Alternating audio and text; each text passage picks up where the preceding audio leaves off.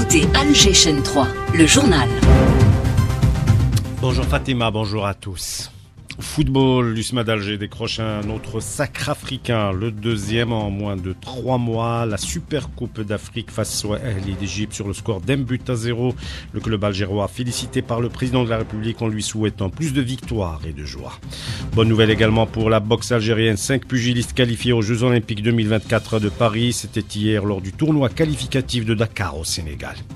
Trois incendies se sont déclarés hier à Béjaïa Tizi Ouzou. D'importants moyens sont déployés par la protection civile qui a mobilisé des colonnes mobiles, dont une venue de Borj les équipes de la protection civile algérienne à pied d'œuvre également à Darna en Libye. Elles ont sorti des décombres 27 corps sans vie. Les conditions sont difficiles. Sur place, nous ferons le point avec le chef de la mission de la protection civile, le colonel Farouk Hachour. L'entité sioniste mène une guerre contre les projets financés par l'Europe en Palestine. L'Observatoire euro-méditerranéen appelle le Parlement européen à agir contre le terrorisme pratiqué par les colons contre les Palestiniens. Les cours du pétrole qui ont frôlé hier le seuil symbolique des 95 dollars en raison de l'insuffisance de l'offre et les bonnes nouvelles de la demande en Chine et aux États-Unis. La première journée du championnat de Ligue 1 à la suite aujourd'hui avec deux matchs au programme NC Magra JS Kabylie et MC Alger US بەرز بناکنون Bonjour à tous. L'USMA d'Alger l'a fait en terre saoudienne. C'était hier soir. Les Rouges et Noirs ont décroché la Super Coupe d'Afrique, leur deuxième titre continental en moins de trois mois. C'était face à l'une des meilleures équipes africaines, le RL d'Égypte. Juste après ce nouveau sacre, le président de la République, Al-Majid Boun, a félicité le club algérois, euh, lui souhaitant plus de victoires et de joie, écrit le chef de l'État sur son compte Twitter. Le match a été d'une grande intensité. L'USMA d'Alger qui a marqué sur penalty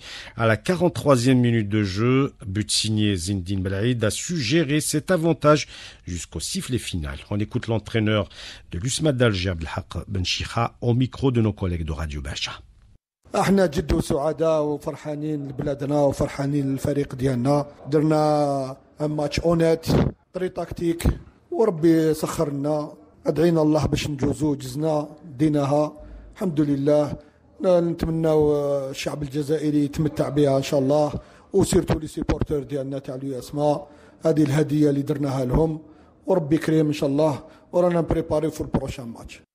Et la rencontre n'a pas été facile pour l'USMA d'Alger face au Ehli Souline de son côté, Hussein Achou, ancien joueur de l'USMA d'Alger. والله فرحة كبيرة يعني فرحة لا توصف. يعني في في ظرف تقريبا ثلاث أشهر وشهرين ونص الفريق تمكن باش يفوز على لقبين إفريقيين هو الكأس الكاف وكأس السوبر. وهذا كأس السوبر جات مع فريق عريق وفريق كبير اللي هو الأهلي اللي أكبر متواجدين بالتشامبيونز ليج وفي البداية على الورق يعني كان الأهلي هو المفضل وكان المدرب بن شيخة صرح بها. ولكن الحمد لله مباراة ما تلعبش على الورق. فريق اتحاد العاصمة عرف كيفاش يعني يمتص ضغط الأهلي يعرف كيفاش يسجل هدف عرف كيفاش يسير المباراة بعد تسجيل الهدف أنا نظن هذا الشيء اللي, اللي خلاه يفوز بيكون يعني جدارة على هذا هذا اللقاء Autre bonne nouvelle pour le sport algérien en boxe, cette fois-ci, cinq pugilistes algériens sont qualifiés pour les Jeux, Jeux Olympiques de Paris 2024. Quatre d'entre eux ont décroché hier des médailles d'or en finale du tournoi qualificatif de Dakar au Sénégal. Après une alerte orange qui a frappé l'ouest du pays avec des chutes de pluie dans la nuit de jeudi à vendredi, une vague de chaleur affectera ce samedi et demain dimanche les wilayas du centre et de l'est du pays. Sept au total sont concernés par cette alerte canicule. Il s'agit de ski d'Altarf, Annaba, Jijel, Boumerdes, Béjaïa et Tizouzou, où les températures pourraient atteindre les 43 degrés. Béjaïa et Tizouzou, où deux, trois incendies se sont déclarés hier et d'importants moyens ont été mis à la disposition des équipes de la protection civile dans des colonnes mobiles venues de trois wilayas, Borjbarij, Sétif et Bouira. Les conditions météo, notamment les vents violents, compliquer la tâche des pompiers, c'est ce que dit le capitaine Nessim Barnaoui de la protection civile. Il est contacté par Fazi Elkens. Au niveau de Béjaïa, il s'agit d'un premier incendie euh, de feu de broussailles de chêne de liège au niveau de euh, la commune de euh, Tichy, qui a connu une propagation lente, mais parfois poussée par les vents, donc avec un terrain un peu inaccessible. Il a connu l'intervention des appareils AT800 ainsi que l'engagement euh, des moyens terrestres. Aussi, il y a eu l'engagement de la colonne mobile de Bouira pour l'enfort. Euh, donc, il y a eu aussi un autre feu qui s'est déclaré au niveau de euh, Bolimat, au niveau de la wilaya de Bijaya. On a consacré d'importants moyens terrestres. Il s'agit de la colonne mobile de Borj qui a été dépêché pour en renfort la wilaya de Bijaya, ainsi qu'un troisième incendie au niveau de la wilaya de Tizi Ouzou, à Aït Shafa, au niveau de la commune de Asfoun. Il y a eu aussi plusieurs moyens terrestres engagés, ainsi que le renfort des colons mobiles du wilaya limitrophes le capitaine Nassim de la protection civile. Les équipes de la protection civile algérienne mobilisées également à Dalna en Libye. Elles ont réussi à sortir hier des décombres 27 corps sans vie. Dalna, ville de l'Est libyen meurtrie par la tempête Daniel où deux barrages ont également cédé suite à de fortes précipitations. Sans jours après cette catastrophe, les habitants comptent leurs morts. Plus de 5500 décès, 10 000 disparus alors que 30 000 personnes sont sans abri et 38 000 autres déplacés bilan toujours provisoire. Sur place à Dana, on fait le point avec le colonel Farouk Achour, chef de la mission de la protection civile. La situation est extrêmement complexe vu l'ampleur des dégâts générés par l'inondation. Il y a tellement de boue carrément enterré des habitations entières. Donc le travail est extrêmement difficile parce que la phase où les victimes de surface ont été retirées, maintenant c'est beaucoup plus compliqué, mais nos équipes sont à pied d'œuvre soit les équipes de de recherche, mais également de nos plongeurs qui euh, travaillent activement aussi pour euh, retirer le euh, maximum de victimes, éventuellement faire des reconnaissances. La complexité de la situation impose un plan opérationnel adapté, c'est ce que nous sommes en train de faire en collaboration bien sûr avec les autorités locales le colonel Farouk Achour de la protection civile depuis Dalna. Échanges commerciaux algéro-tunisien, le ministre du Commerce Taïb Zitouni a indiqué hier à Tunis que le développement de la bande frontalière entre les deux pays, la promotion du commerce entre les deux pays, l'investissement et les zones franches étaient les principales questions abordées lors des travaux de la cinquième session de la commission mixte algéro-tunisienne de suivi des échanges commerciaux tenus dans la capitale tunisienne. Zitouni a fait savoir que des rapports concernant des questions et d'autres seront soumis à la haute commission mixte qui se tiendra prochainement en Algérie. Et à l'instar du monde entier, l'Algérie a célébré hier la journée internationale de la démocratie. L'Algérie qui connaît un ancrage démocratique exceptionnel à travers le projet de redressement du président de la République, à travers la concrétisation des engagements électoraux du chef de l'État, en tête desquels la révision constitutionnelle de 2020 euh, qui constitue la pierre angulaire pour consolider les fondements du socle démocratique de l'Algérie nouvelle, écrit dans un communiqué le Conseil de la Nation. L'importance du rôle de l'imam dans la transmission des préceptes de l'islam et de l'enseignement coranique en conformité avec notre référent religieux souligné hier depuis Rardaya par le ministre des Affaires religieuses à l'occasion de la célébration de la journée nationale de l'imam. Un référent qui prône la modération et le juste milieu et qui a permis à l'Algérie de se prémunir contre la fitna et à consolider l'unité de la nation. C'est ce que dit le ministre des Affaires religieuses, Youssef Belmehdi. On l'écoute. La signification et la portée du rôle imparti aux imams et à la famille des mosquées ont amené le président de la République, Abdelmajid Tebboune, à instituer cette journée, journée nationale de l'imam, en hommage à la mémoire du défunt Si Mohamed Belkbir. Nous rappelons les efforts de nos ulémas et nos imams jaloux des valeurs patriotiques et qui rejettent la violence et l'extrémisme. Il faut aussi relever les travaux qui ont permis aux notables de cette région, qui ont renforcé les liens patriotiques et ont accompagné le combat du pays depuis le début. Ils ont été un maillon fort dans l'unification des rangs et le renforcement du front interne. Ils constituent un exemple de développement et ont tracé les grandes lignes des réformes comme l'ont fait les imams à travers tout le pays. C'était le ministre des Affaires religieuses, Youssef Belmadi. Le ministre de l'Industrie et de la Promotion pharmaceutique, Ali Aoun, a mis fin aux fonctions de la directrice de la production, du développement industriel, de la promotion des exportations et de la recherche, Nadia Abou Abdallah.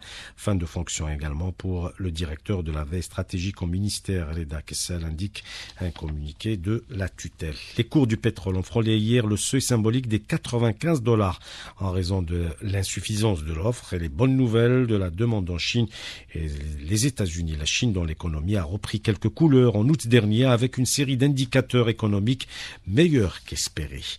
L'Observatoire euro-méditerranéen des droits de l'homme a déclaré que l'entité menait une guerre d'usure contre les projets financés par l'Europe en Palestine occupée, appelant le Parlement européen à agir contre le terrorisme pratiqué par les colons contre les Palestiniens.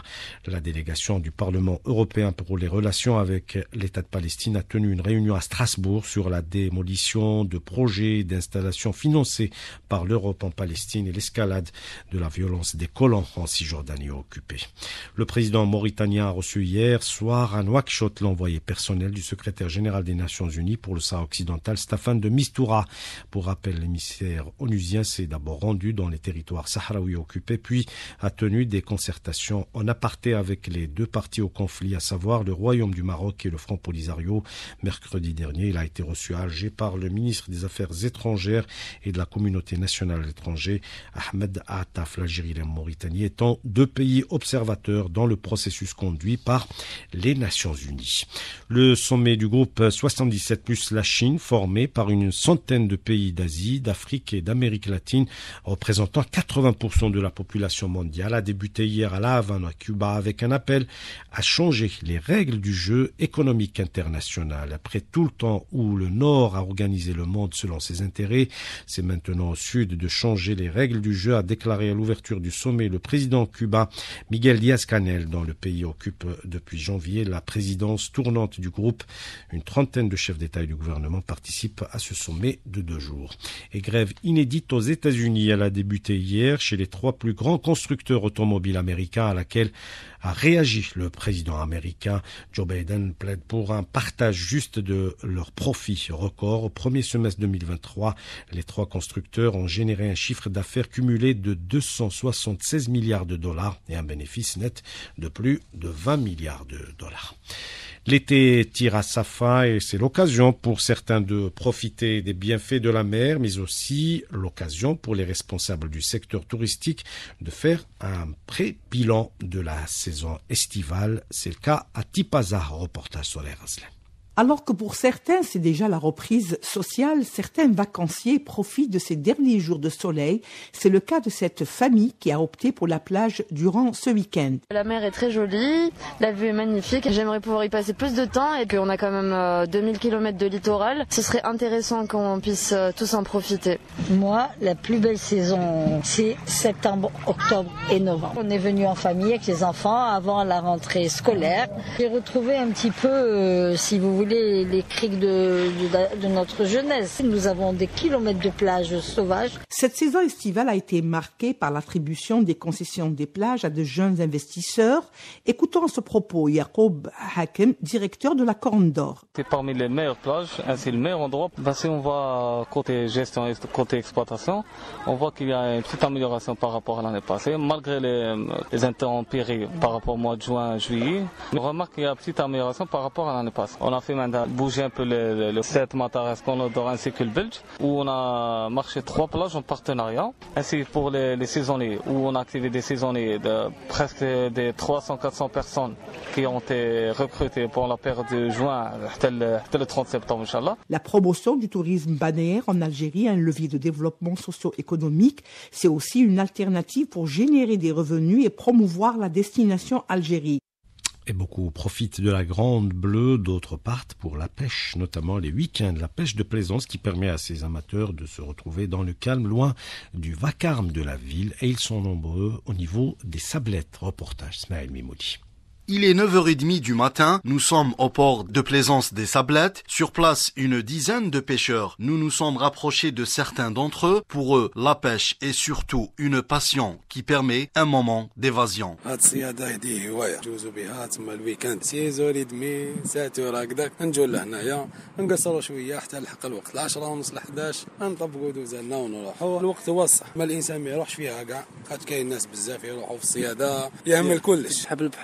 كيكون كال تيري وكش ما نطيح وكش ما فكاش حبه ولا بالموليدي بلوفار صيدوا بها.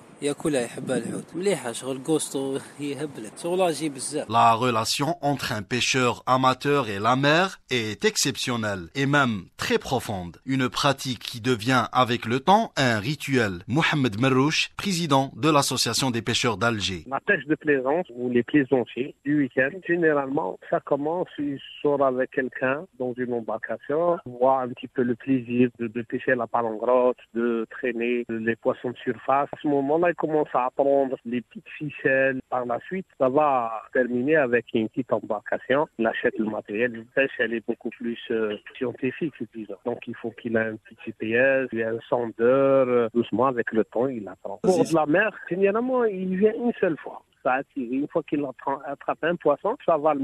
La pêche de plaisance, notamment durant les week-ends, est aussi une façon de retrouver le calme et la concentration et de s'extraire du stress du quotidien. Reportage signé Ismaël Mimouni à suivre en Ligue 1 le début du championnat depuis hier et la suite aujourd'hui avec deux matchs au programme entre le NC Magra et la JS Kabylie. MC Alger US Benakne, le match se jouera à huis clos à 16h. Hier, l'AS s'est imposé deux buts à zéro devant le MCO.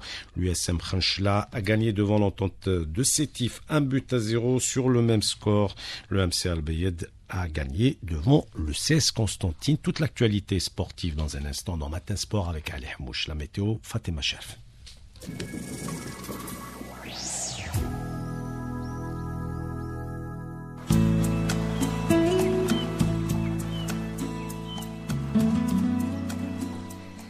Bonjour à tous. Une vague de chaleur est annoncée pour aujourd'hui et pour demain dans les wilayas du centre et de l'est du pays. Les valeurs maximales seront caniculaires jusqu'à 43 degrés. Boumerdès, Tizi Ouzou, Béjaïa, Djidjel, Skikda, Annaba et Taraf sont concernés par cette alerte. Des températures accompagnées d'un ciel généralement ensoleillé aujourd'hui. Au nord comme au sud, quelques nuages du matin se dissipent l'après-midi sans conséquence. Ailleurs, il fera 30 degrés dans la capitale, 31 degrés à Betna et Burj 36 degrés à Constantine. Il fera 38 degrés à Schlef. Prévoyez 31 degrés à Djelfa, 38 pour Gardaya. Il fera 27 degrés à Mostaganem et Oran, 31 degrés à Sétif, 32 à Tébessa, enfin 35 degrés à Sogaras. On termine aujourd'hui avec l'éphéméride de la wilaya de Djelfa où le soleil se couchera à 18 h 53 minutes avec un taux d'humidité atteignant les 18%. C'est la fin de ce bulletin météo. Merci de nous prêter attention sur LG Chaîne 3.